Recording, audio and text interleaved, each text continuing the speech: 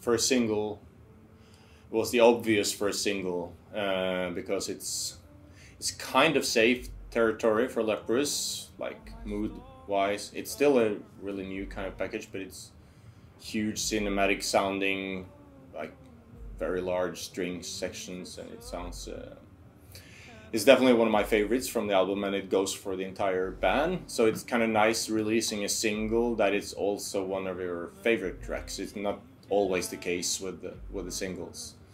So um, it was the first song that I wrote for the album. Uh, I wrote it like uh, straight after the Malina tour, and it was very instant. I was just sitting there with my uh, uh playing like keys and singing, and then I just oh this is nice, and then I just uh, recorded the recorded it just on the on my phone, just a quick uh, thing, and then I just left it there for a while and didn't do anything with it for a while, and then that was the first song that I started working with for real for the album, and I felt right away that this is gonna be good, but uh, it ended up way better than I thought it would be. Um, definitely one of the most cinematic songs. Uh, and it's very epic uh, sounding, very like massive, uh, but uh, still still not in the metal kind of massive, but more in the I don't know Hollywood kind of massive.